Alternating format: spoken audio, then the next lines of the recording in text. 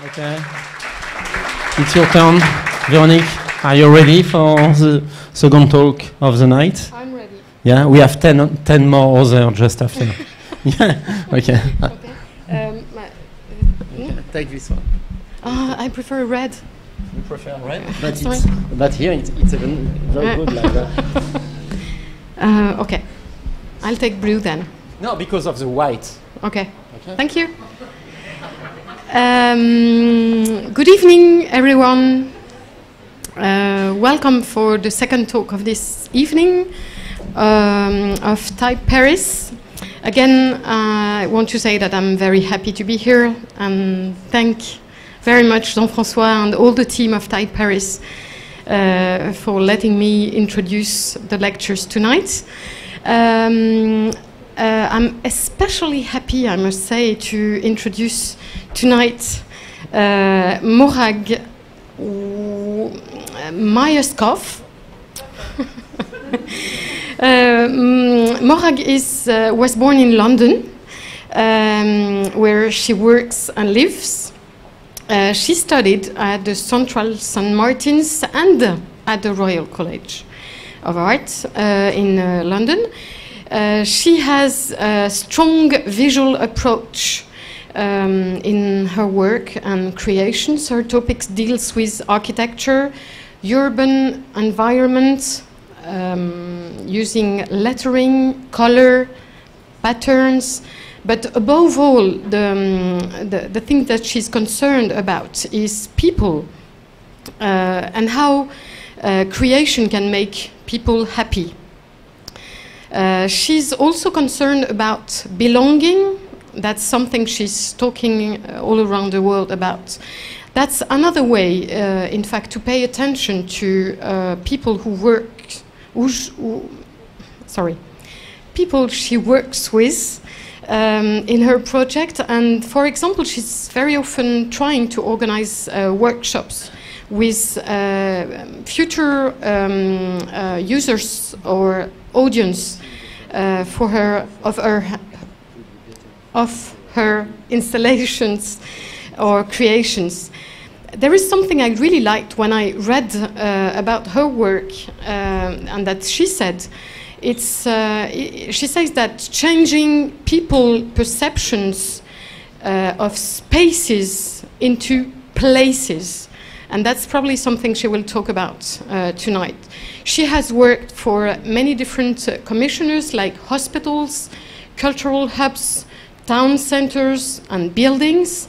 She's creating images, but not only, also installations, wall paintings, and also, she's also a textile designer, and she's also designing uh, objects.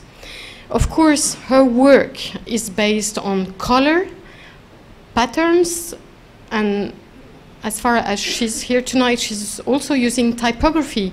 But she's saying that she doesn't use typography um, as a constraint uh, rules, but more on an intuitive and creative way. That's what we'll see. I want to mention that uh, she was she's among the 50 creative leaders selected by Creative Review in 2008. 2018, sorry. and 8, yes, 18. This year. Yeah, sorry. Sorry. Uh, she's also one of the top 10 top 10 influential uh, woman designer uh, of the last 20 years. Yes. Please welcome warmly Morag. We're so happy to have you tonight.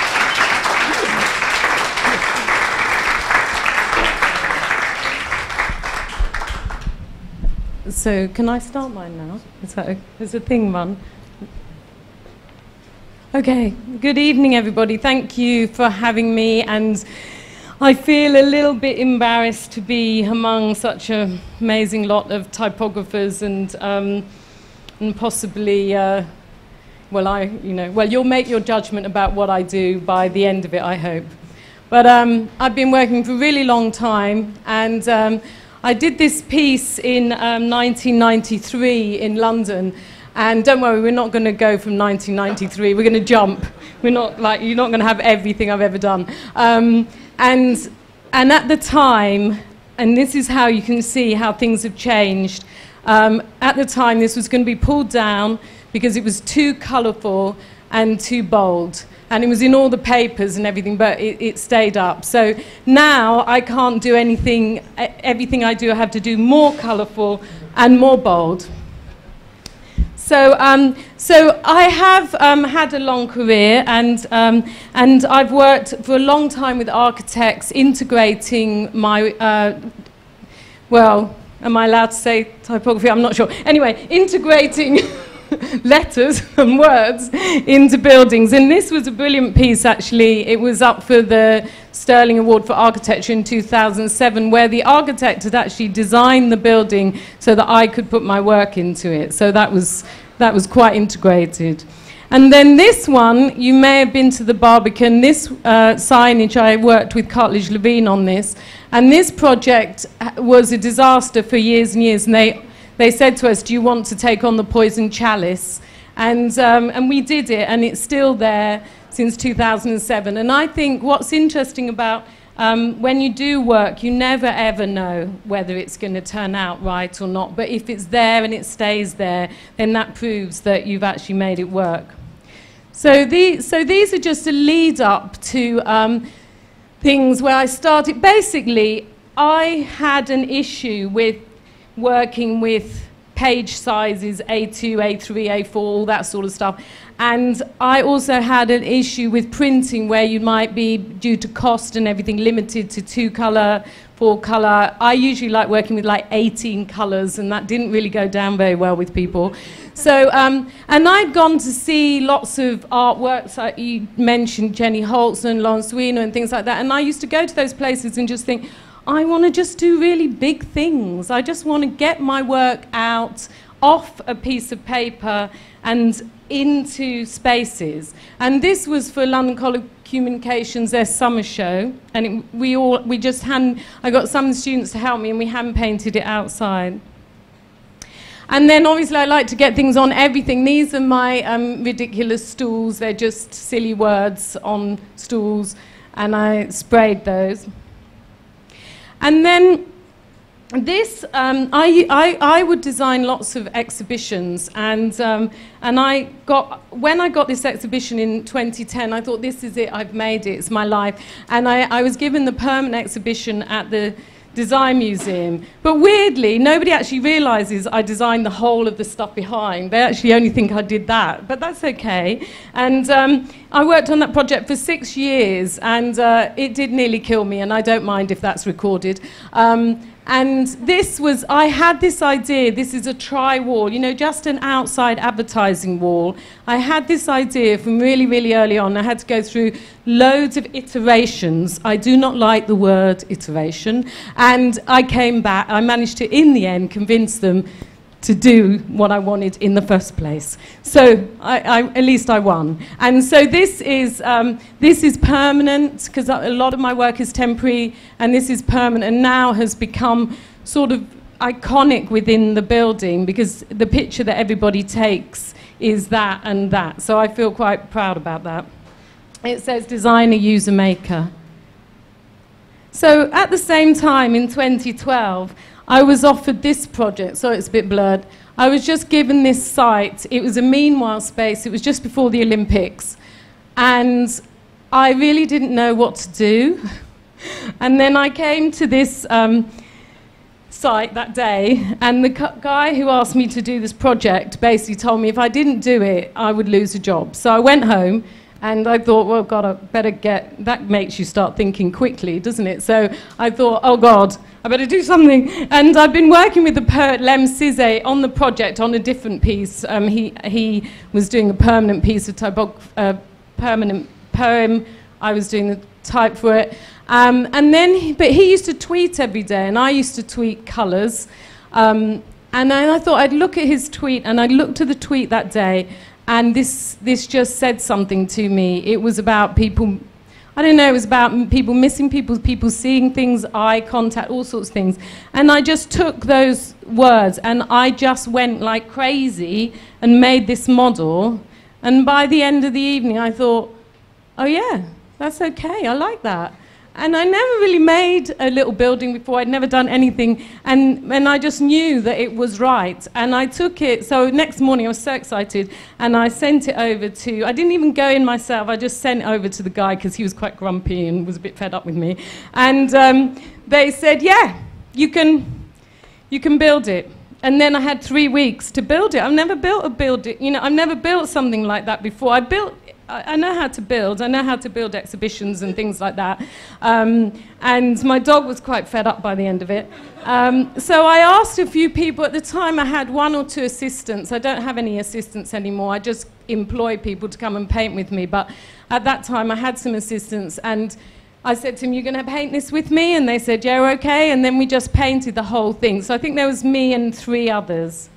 Um, and then this is the final piece. Um, and that's the M going up. And what I think is always so amazing is in the studio, the M looked really, really huge. And you'll probably know that, but the moment you take words outside into the environment, they shrink, like shrink to little. So you're making something might be as big as this room, and you put it three feet up, three meters up, four meters up, and it's like that big. And so that's so when people come around and they go, why is everything so huge, more? It's like because it's in my house. It's not out in the street. So um, so this was the piece, and this we this went out to the press, and this just sort of caused a big um, sort. There were loads of awards, and people hadn't seen something like it before, and um, it just started a whole thing that was very exciting. And I can't just do the building, I had to make all the stools. And there were some, um, there were words from Lemn Sissay as well. And then I had to make the cushions. So I, I, used to sew, but I hadn't sewn for years. So I got me and the other Lizzie and um, Catherine, we just sat and made these cushions in the studio. And then this is the final piece. So it's really complex. It was made of shipping containers. We had to uh, carve out this space. Um, anyway, that, that's it.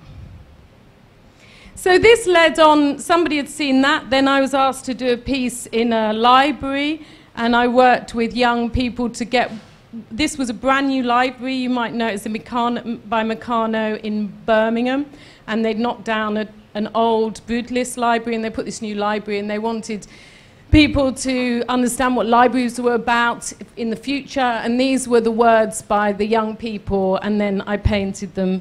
And then we put this, the architects weren't that happy because that was the best view through there. But I never told them to put it there. Um, so you, are meant to view through and view up, and my thing was there for the first three months. Oh well.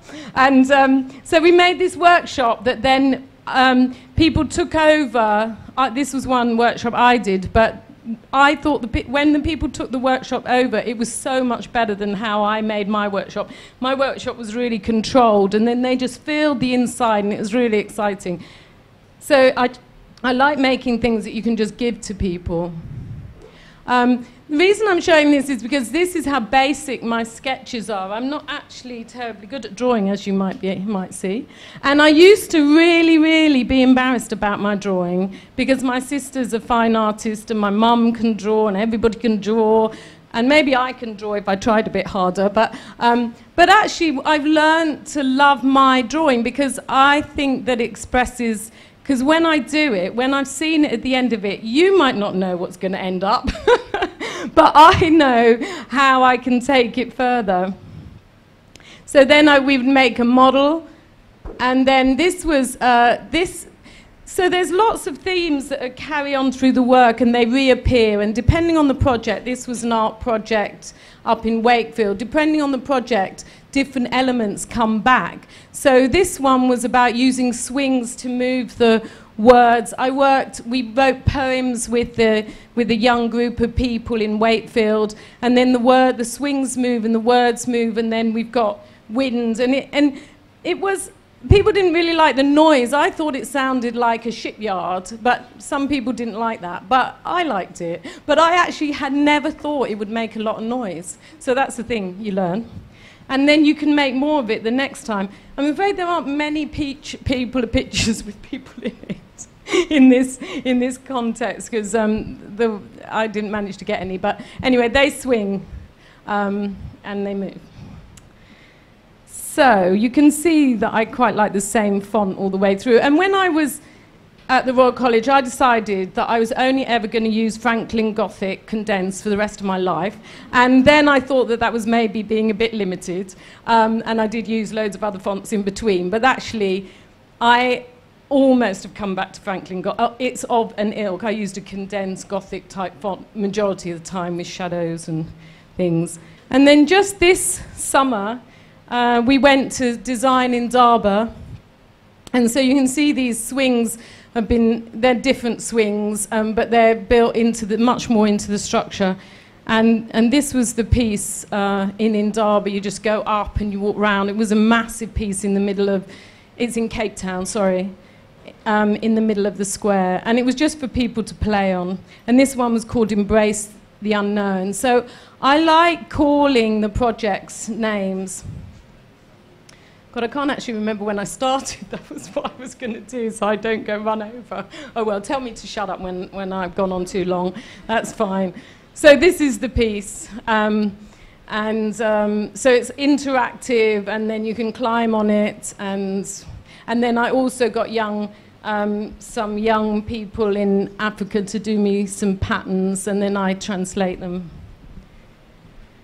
so what I think is really important, and I'll talk to you about Sister Corita um, later, a project, if you know about Sister Corita. Oh, well, no, you're not meant to call her Sister Corita. Corita Kent. Corita Kent, an American nun. She was a nun, artist, and educator. Um, I did a project with her later, but I realized that there were so many similarities that I hadn't even known about. Um, but there is this thing about looking and seeing. It's not, uh, it's not uh, anything particularly new um, or anything, but it is just a thing that you really do need to think about quite a lot. And about really, when you see, you really start understanding things.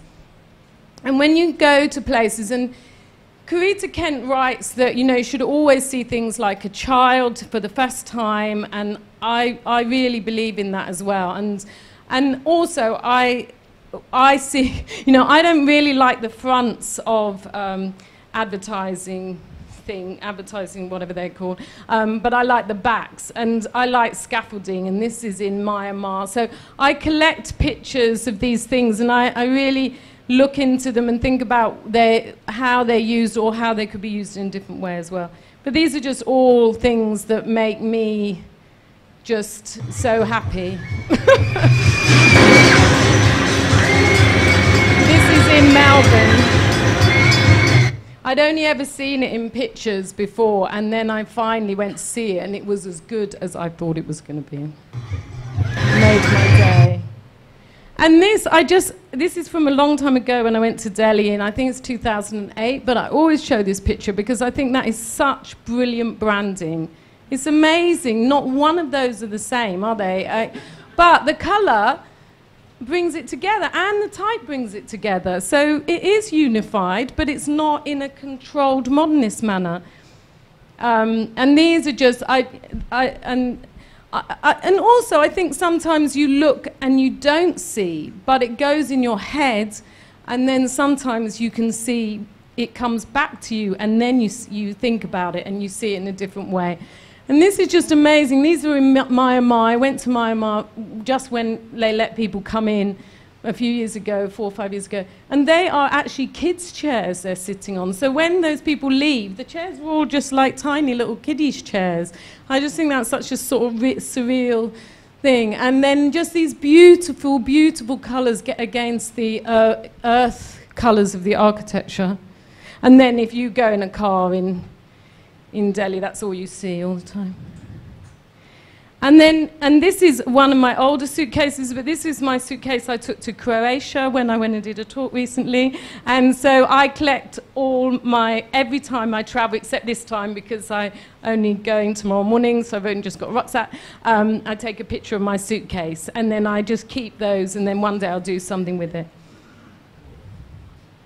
So to continue the seeing, the looking and the seeing thing, um, I've always loved um, things from Mexico, but I'd never been to Mexico. And some British Council people came to my studio and I said, Oh God, I want to go to South America. And fortunately, there were people there in South America. And then about three months later, they rang me and they said, Morag, we do this design festival. These people are absolutely amazing. If you're ever in Mexico in September, or, or se late September, is the date on there? Anyway, yeah, October. If you ever in, go to, the, to see this um, design festival, and they just said, Morag, we want you to make a big installation and we'll give you a choice of squares. And they gave me this two choices. One was um, a really beautiful green square, and one was this one, you see, which is Zocalo Square, which I don't, didn't know anything about Zocalo Square. And, obviously, and I went, well, I want that one. And they're like, are you sure? And I said, yeah, that one. And then they went, oh, okay, so that's the most famous square in Mexico. and that the um, flag goes up and down every day. And, um, and it's just like everything, it's just full of life. And this road looks right into the square. So I was introduced to this book, Ways of Seeing. I don't know what it's on about. I never understood it, but I really like the cover and I love the title of it. And also, when I was really young, I watched this film. Oh, it's upside down. Dr. Reese's residence? Down. Oh, good morning, Miss June. Yes, Sorry. The doctor's up in his thing, you know, his camera obscura. He's got his new lens from a shop this morning, and it makes a lovely picture. Anyway, He's taken the big white Matter garden Life cable to project Alfred on. Hitchcock. He'll be glad you're coming I over. He's showing it to the dogs now. Ah, nice day. Hmm, Mrs. Bidwell's duck's out too early. She'll lose all the eggs if she's not careful. Ah, the start of the cycling season. There's a hefty young girl. Time Mrs. Tucker went to get our rations. So is that, is upside down? Um, I'll move it on. But because when I was a child, I used to work, watch a lot of television. It was new then, you know, so it was exciting. and, um, and you weren't really meant to watch it. So I would watch it as much as I possibly could. So I watched all these films and stuff all the time. So, we, so from that, I just thought, why don't we do, build this camera obscura? Because they asked us to do something that was about being iterative, and I wanted to do something about um, how it was about how designers work or artists work, and I wanted to say it was about having a feeling or going to see things or seeing things in a different way. So we wanted to make a camera obscura like that one I've shown you, but that has a lens, and we couldn't get one in Mexico. So um, we just used a whole a pinhole camera. And these were some of the sketches. So this is what we wanted, but that is what we did. Um, and then the mirror Yvette, look and see. And then this was the final piece. We, this was nothing, this was fencing going on behind, nothing to do with me. And this was a road that, there's a road off here that stretches right through the whole of Mexico City, and this was right at the very end of it. So people would come inside, they'd queue, I don't think they knew what they were queuing for, and then they'd go into the camera obscura and they would be explained what it was all about. But I just love things like this, building these things, the juxtapositions against the architecture. And this is actually, this is the whole, and this is what you saw. And what I thought was so amazing about it is that people didn't realize that through a hole, you got a video that was upside down, it was color, didn't have sound, but, um, and, and, you know, and people learned things, and I thought that was fantastic, and they did go out seeing it in a different way. So, um, and then this was a piece I just did recently. I don't do many internal pieces, and obviously that didn't go anywhere afterwards because it was six meters high. So I was asked to do this piece for the other art fair, and I just built this piece from old bits of my old installations. So I keep the installations and rebuild them, and then I, I, re- I did the type new for it.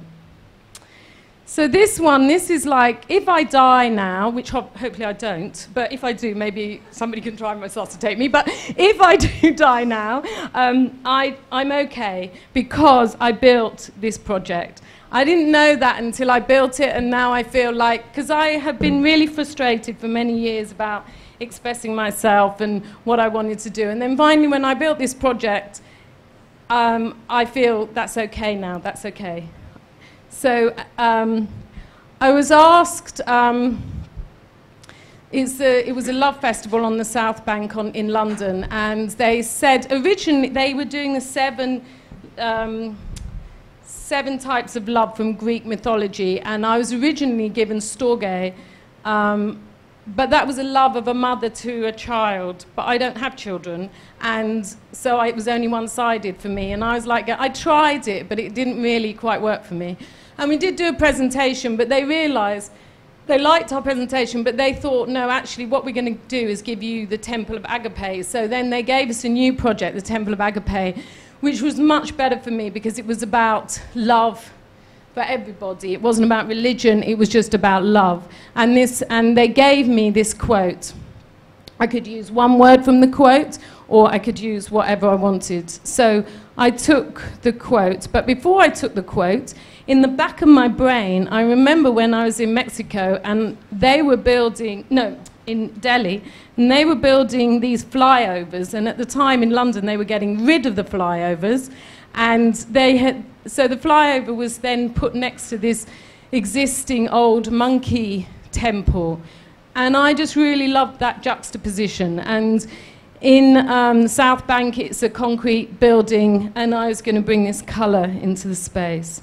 So there are all these embedded thoughts that come out that you don't really know. And I was on a train, and this wasn't out of desperation, I was just on the train and it came to me. and, and I just drew this, um, the, the temple, I just drew it. And I just sat on the train for three hours and I drew the temple.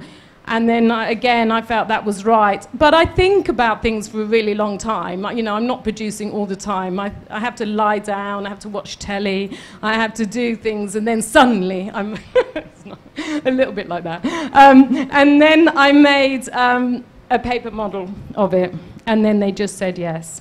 So again, this was really, really fast. And the South Bank wanted, that was my old dog, Lemmy, the South Bank wanted me to do a call out for volunteers. And I don't, personally, I don't, um, if people work for me on my other, on my projects, on, and I, did it for the South Bank, but I always pay people because I don't think it's right. But this was interesting. Um, we got all these people in, different people every day. I was completely worn out. I had to teach everybody how to make everything. They could come for one day, they got their travel paid for, or they could come for three weeks. And they just came and they stayed, and we got new people, and then we'd make a picture every day of what we did. And, and it was actually really, really lovely, and everybody was part of the making. And then I had these scaffolders that was so great because, can you see them up there? Those two there, right? So I'm standing down there, and they've got 306, uh, no, 200, no, 138 words to put up with me going left a bit, right a bit. And they did it. They were really, really wonderful. And they did it because you can't measure it all. You have to do it all by eye. And then this was so it was interesting. If you go back and I showed you the Watts Towers, there was a picture of the Watts Towers. I didn't say, but this was the scaffolding once all those panels had been put in, and it was just really beautiful. Then I covered up with this, which I regret in a way because I planned that, but I like that. So now I try and do that as well as that. And this is the final piece. And it was really very much about, on the outside, it was a peacock and it was just colorful and telling you, you know, love. And then on the inside, and this was a walkway down, and people would walk through it, too many people. And then, because I, it was initially not connected to a staircase, but that was something I was asked to do. Um, and then, um, and in the inside, it was very, very natural, and it was about using the cutouts and the wood to get the light coming in. Okay, so making things together. This is a project from a few years ago, but I really love it, and it was my beginning of really working in hospitals. So I, I worked again with Lemn Sissay, who's an amazing poet, and he went in and worked with the young patients in the hospital, um, the Whitechapel Hospital, or the Royal London it's called, it's in Whitechapel. And then we took their words, and then I did workshops. And when you work with children who are really ill, like that little girl was really suffering from cancer, you know, they have a lot of drugs and things, so they don't have a lot of patience. So you have to work really, really carefully with them. And, um, and but you know, we got great things, and I found the words they loved the best, and and they and some really beautiful poems. So this piece was using. I made. A, I'm not going to say a font, but I made some letters with the kids' drawings and then used their poem that was really lovely about what walls are made of, and they're made of laughter, and it was sunshine. It was a really beautiful poem um, to cover their dining rooms. These are their dining rooms, and then painted the chairs. And then this one was just so such a lovely little seven-year-old boy who wrote half in Urdu and half in English. And and then this one, the nurses were a bit worried. Um, this was for two-year-olds or three-year-olds, and they love the word dazzle. So um, that's it. And you know, and, and it's not. It, they're all still there, and everybody loves it. So um, this is a project that didn't happen actually because of funny. I worked on this for nearly three years, and I want to show it to you anyway because they made a mistake. Well. I'm going to say that, but um, no, um, I got all the funding. I won. It was a competition, a public art competition. I won the funding, but there, in the end, there was one woman who didn't like pink, and she stopped it. Um, so I did loads and loads of workshops with people with dementia and um, uh, young kids and cultural groups and these amazing ladies from I think Cyprus or Gre Gre Greece, one of the, and um, and they gave me. Um, uh, lovely food that they'd made, and you know it was they, it was really lovely. And I, I, and this guy's piece of work, he was in the daycare centre. He, I used that as the main motif so I draw, I take their drawings, like we use stickers and things, and then I, I make it into a pattern. But then I made these bigger pieces that took elements of everybody else's patterns to make a, a, a piece together. So the whole thing was, is that I come from this area, and, um, and it is, it's a very migratory area, and we went through, we I worked with like three poets and we didn't get any words. And then in the end, I just felt the word that meant the most to everybody who lives there is that we're together. So now, and there's a lot of together things at the moment. Um, I think this was this two years ago, but started like three or four years ago. Um, and then this was the piece. And we even went as far as sample. I do have this in my studio because it was really, really complex. I, am not going to bore you with it because I've got too much to talk about. How much time have I got? Five minutes? Oh my God. Okay. Okay, well, we'll, we'll rush through that. This is my only permanent piece of work. Um, which I think permanent is hard, but when you've done enough temporary, you can do permanent. So I was asked to do this bridge in uh, next to Battersea Power Station. It's the opening of the power station, and there was a festival. This this this festival, I wish I had been. I wasn't actually alive to see this, um, but I wish I had been able to see this in its heyday. And then I made this piece, and again, uh, this is me. Um, how I draw up the board. So that's just, and then these are the, this is a big type in the studio. So I think I've been talking too much, so I'm going to whiz to a bit that I want to talk about. and that's the piece, and that's all hand painted in our studio. And you can see it from, um, so you can see about using the contrast in the surrounding area. We just, you can just look at the pictures on this one. So this is a space. This is in Romania last year. This is, I'm, and then that's just with black lights because I use neon. And then this piece is in Las Vegas. Um, oh my God. Three weeks in Las Vegas was horrible. Um, was truly horrible. Um, so I had, uh, you, I had made this rug before, you can't quite see it, surrender to its warm embrace, and it was a phrase taken off a Slumberland box. And then I was asked to do this piece on the front of a motel in, um, in Las Vegas. So this was the motel. But they seemed to think that I was going to put the scaffolding up as well, as well as paint it all. I was like, I'm too old, I can't do that. So, um, so they gave us this space behind, and then we had to build this sort of ad hoc studio, and then we painted the whole thing. And they said they'd give me volunteers, but they didn't because nobody in Las Vegas wants to paint outside. They want to stuff um, pieces of paper in envelopes instead. So majority, I did get finally get two people who helped me, but I had to paint nearly the whole thing myself, and I nearly died. I had to lie down for three months because that's me painting because I, I nearly died. It was even though in the shade it was really, really hot. And then they kept on telling me, well, you can work all night, Morag, if you want. It's like, no, I've got to sleep. Let me sleep. And then if you're ever there, you have to go to the neon, grave, the neon graveyard. It is just the most amazing, amazing views. So this is the scaffolding which I finally didn't have to put up. Um, and then I had my own vehicle my own cherry picker, but I said I wouldn't drive it, so I got them to get me a driver because I was being the queen. and then we had to paint this wall super fast as well. And this was the piece. And then uh, at night, uh, so you might know Panton, Pant, uh, I can't remember his first name, but his work it was on the other side, and this is my work. And in downtown Las Vegas, this work just um, grows all the time. All the so I, this is right. I'm going to whiz through this. Have I got five minutes? Oh, yes, yes. Whiz through this. Whiz through this. Um, so um, we make belonging. So I'm London-born, London-bred, and this is my clown grandfather who was English but went to the circus and lived it was in Paris in the permanent circus in Paris and this is my great grandmother who was German and I think a bit French as well. And she was a high diver, and they couldn't find anything uh, for her to do.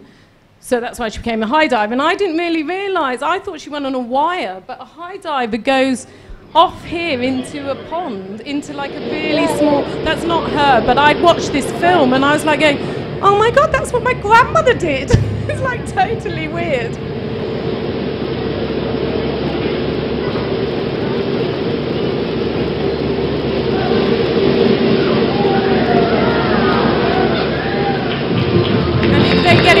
Die. Um, but she did live, and, um, and they moved to Holloway, to a very working class area. And this was my French grandmother, grandfather on the left and his son, and he was a salon painter called Marx who lived in Paris. But look what happened to the high diver. I'm a bit nervous that I might, I might, I might grow into her. That's quite scary. And is that a cat or a dog? I don't know what that is. Um, and this is my very elegant French grandmother who, in the house in Holloway, changed her house into a French salon because she wanted to escape from the horrible place that she was living in and got all her family in France to make her this thing. And she lived this very elegant life and, and desire, uh, helped make hats for Hartnell. And that's my dad, and that's my dad. And, and sadly, I have to admit, I cannot speak a word of French, even though they spoke French all the time, because my dad was quite hard on us um, about how we pronounce things. And, and I don't play an instrument either. Um, okay, so this is me at the Royal College. And I liked, um, I liked the obvious. And the one at the end is Hockney Paints the Stage, which sort of blew my mind. And this was my work at the Royal College. Um, it, I did opera sets. So that's why I've sort of gone full circle. We'll skip Luke. we'll skip Luke because that's too long. Um, and this is where I live now. And so this is what it's about. So now I live in this place. I came from a home that was crazy. I, I didn't really fit in around about accepting my home. I moved home, and then it took me and 20 years to be able to buy this um, house. Do I have to stop? Oh, two minutes. I've got two minutes. Okay, sorry, everybody. I thought I planned this well. So this, what is so amazing about this house is I live and work in the house. So I can do whatever I like, and then sometimes I have people helping me. And then, and then this year, I managed to get do what I, wanted another one that I wanted to do. So I love bandstands, and I love this Top Hat song. So we're at Top Hat when they're in the bandstand. Frightening, the thunder and lightning seem to be You don't have to watch that. Um, and, but look at the amazing and how they're free places and you can just gravitate round them and you don't have to pay to see anything. And so, okay, so this is, okay, I totally misjudged it. I did all my counting and I got all my things wrong. This is Corita Kent. Anyway, go and have a look at her work because she's amazing. And I did a project, Ditchling, an, a museum, were getting her work, and they asked me, is there anything, um, and they said to me, would you like to do something? And I said, well, I've always wanted to do my bandstand. And so now we're married together. So um, we did, so in the museum, there's what belonging means to me and what belonging means to Luke, but we haven't talked about Luke, but that's fine. And then I, um, I did a whole load of workshops. You must, everybody must read this book by Corita Kent, Learning by Heart is absolutely genius. It really makes you think. So loads of workshops with all age groups of communities, six groups, for what they thought belonging was about. And then I, I worked up all their words. Worked with Brighton University to help me paint the placards. I painted the rest of it myself. That's my new puppy, Elvis. And then this is a piece. So the bandstand has all the people's messages. The whole thing about the bandstand, it's travelling all summer um, in East Sussex. And each time, um, in Sussex, each time they um, get it, their words, each time the community groups get it, their words come to the front. And this was in a really in, a, in an estate, and it's already everybody wants it back each year. It brought the community together, yeah. And I'm I'm so happy that it happened. So um, thank you.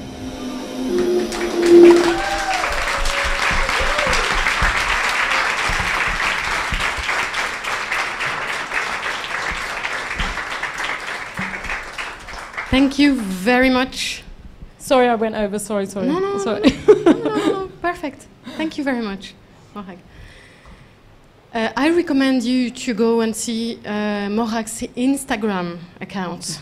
Maybe you will be able to see a little bit, um many, many beautiful images about what she talked about and more. Do you have questions, guys? Yay!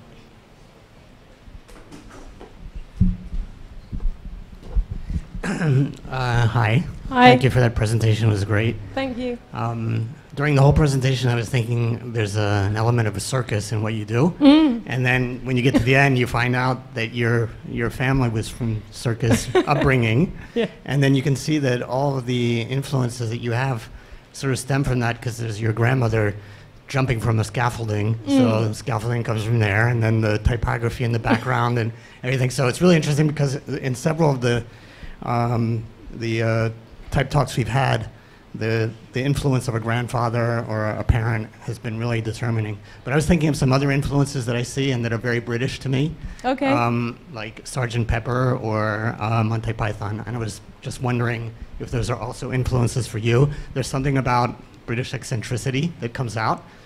Yeah. So I was Well- just wondering what your thoughts were about that. I did. I mean, my dad um, played on the Beatles album. He was a session musician, so um, so we had Sergeant Pepper's uh, cover by Peter Blake from Really Really Little, and we only had like my dad wasn't really into popular music, so if he went and did a session like with Bob Marley or anybody, he'd bring back um, or he'd get an album. So we were limited. So those were with us all our lives. So um, I, I didn't watch um, Monty Python particularly, but I did. I was going to um, show. I did used to watch a lot of Saturday morning TV and. Um, uh, there was all stupid stuff on there. So I think, yeah, I think there's that that stupidness I've got a bit of, yet. but the circus thing, weirdly, I mean, we did have, my sister found them the other day. We did have my grandfather's circus pants from, you know, like big pants satin with thing. So, yeah, I mean, yeah, my family were like quite unusual. So I think that just but I didn't realize it. I fought against it. I wanted to be modernist. You know, I fought against it for years and years. I, when I was at the Royal College, I wanted to do my type like the smallest, and I used to lose sleep over whether I should do this amount of leading and all this stuff. And then I realized that maybe I'd been trying to force myself into a world that actually wasn't really who I was about. And, you know, and, but I've managed to find that space for myself, which is good. Any other question? I have a question. Um, we feel that there is two aspects in your work. Uh, one is doing these, uh, these colors, type, design, but also there is another aspect is to be with human Hmm. and to do something with a group of people. Um, it's, it's a stupid question, but does one can live with the other, or does one is better than the other, or does it's a surprise and suddenly working with people, it looks to be even better than doing the final piece? You know, when we, we do design, we always think about the process is better Mm. than at the end. I, I know that the end it's fabulous, I love it, but what you can say about that? No, no, I always like the end because because I've not. That's what I used to find difficult when I was printing because for me, if I printed something, the proof was the most exciting bit. But I already saw it completely done at that moment, and I really loved it. And then when I got the final thing, I'd already been there. But when I make these big installations, the majority of it is really in my head still because you know I do models and stuff like that, but when you do something in scale and you're walking into it and it's a different thing, then that is absolutely the best feeling. And the process getting to it. I'm, I, I work a lot on the computer, continually drawing things, and, and that can get a bit um, boring. And so it's quite nice to then paint for a bit and have some people in the studio. But reason I don't employ anybody because I'm not really very nice, and I wouldn't, I, I, I couldn't have somebody that I had to keep happy all day. They would be bored, and I'd feel guilty all the time. So I think it's much better for me to have found this process where I bring people in when it's interesting for them and it, they'll learn something, and I don't have to be worried about whether I'm not doing this or that. And then the rest of the time, I can sit with my dog and have Radio 4 on and then just not talk to anybody, um, which I quite like. So, you know, I think it's nice to be able to make your own way, how you, you know, the best way to work for yourself. Any other question? No? Okay, finished? Ah, bravo. Oh, I was going to hide then. Uh, hi, first of all, you have a wonderful sense of color. Thank That's you. amazing. But I wanted to know you do this, um, you are a visual designer, but you're also so good with space, you know, how to construct a space like an art, almost like a space designer, Mm. like an exhibition designer. How did you have an, a training or d- just that comes naturally or? Mm, Yeah, I, d- I don't know. I mean, from the from the from even St Martin's, I was designing interior spaces. So you know, maybe I It should have done architecture or something. But in a way, because I didn't do it, and I don't at all in any way think I'm anywhere near an architect. But I do think that non-architects can also do things in three-dimensional spaces, and Yeah. it shouldn't be just kept to to Yeah, because it completely breaks, you know, like it's not defined, it's just going everywhere, like he said, like a circus almost. So that's Yeah. amazing. But it is quite controlled. I am, I'm actually, I'm really controlled, and I and all my painting and everything has to be absolutely perfect. Luke wants me to do something more expressive. You know, I have to have everything, and that is where I think the design side of me that I can't get rid of. I just like things perfect. I like it completely flat, and I'm very organized. I don't think people think I am, but it's much because to make a big structure, you have to jigsaw masses and masses of things yeah. together, and I don't have project managers or anything. I do that all myself. And Luke does work with me, but he um, he doesn't do any of that sort of work with me. I do that all, so I have to I have to provide if I'm not painting it myself or everybody painting, we have to work to really rigid uh, organisation so nobody gets a colour wrong. I did have, I did one project I did, I did have a guy who came and worked for me and as he started work he told me he he's colourblind. And I was like, again, that's not ideal. um, so I had to then spend the whole uh, like a week numbering every single color and then numbering everything on the plan so that I wasn't going to not let him be employed, you know. We done? Yeah. Any other question? Yes. Oh, wait, yes. It's coming. It's all right. Hello, um, I come from Guatemala, Mhm. uh, actually next to Mexico, Mhm. and we share a lot of things about our cultures. Yeah. And in the last few years, I think uh, Latin America country, um, like we are more uh, proud of Mhm. our culture, and I, I can see how Peruvian, Mexican, Guatemalan uh, have become more stronger in her own graphic culture, but it's a, a process that we just we are just in the beginning. Um, I think uh, Europe have more uh, time to understand her own culture to could um, design it.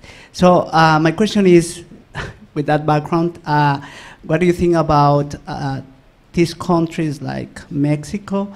That Mexico have a exquisite and really rich uh, popular culture.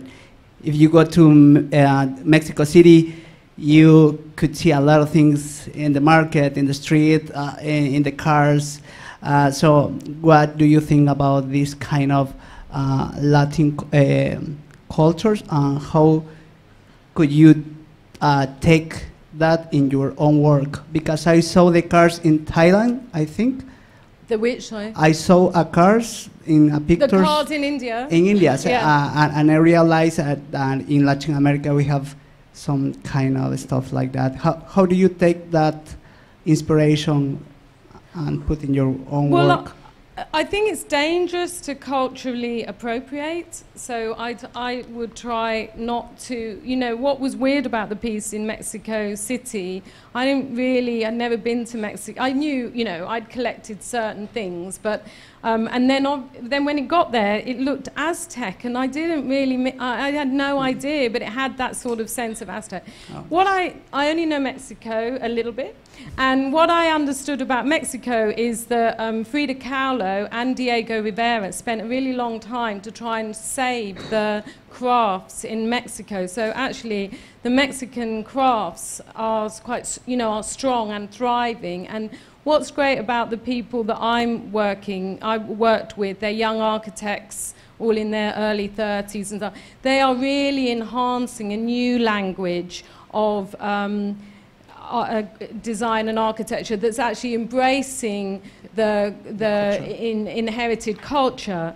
What I found when I went to speak in India recently, it was quite the opposite, where all these young people wanted to do everything in grey and minimal, and because they thought that poor people used colour and it was cheap Exactly. and it was unsophisticated. the same in other countries. Yeah, and and actually, uh, but they were in, they but they loved my work, which was really so. so I said, well, then you've, you know, you've got to you've got to grab your culture now. It's a time for you to grab your culture, and that is happening. When I went to Africa, there's Future Africa, and that is happening in Africa. But uh, all the other cultures have to grab their cultures and make it their you know, their, their own it and own it now and not just own it from the past and doing craft, but actually take it somewhere else. And, and I hope that showing that colour, you know, you can be crazy with colour and hopefully still looks okay. Thank you. Last question, maybe? No. No? Done. Okay.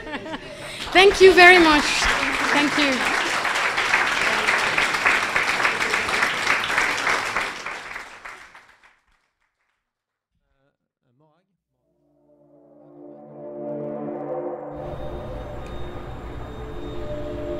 Peine 14 ans après sa création, l'iconique école de design du Bauhaus fut fermée par le régime nazi.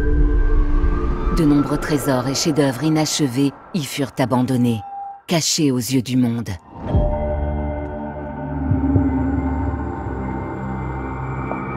Reposant sur l'idée de former une nouvelle génération d'artistes pour créer un monde meilleur, le Bauhaus a jeté les bases du design moderne tel que nous le connaissons aujourd'hui, changeant à jamais la créativité. Dans l'Allemagne des années 1930, toutefois, les idées progressistes du Bauhaus étaient considérées comme une menace, rendant inéluctable la fermeture de l'école.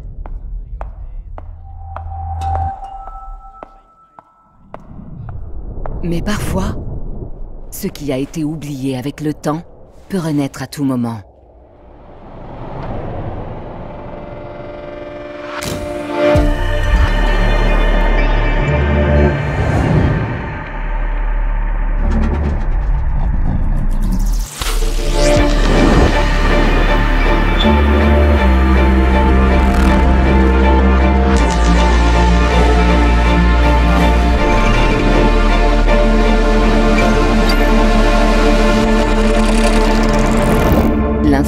De Bauhaus est toujours aussi puissante. À partir de maintenant, vous pouvez créer avec un morceau d'histoire.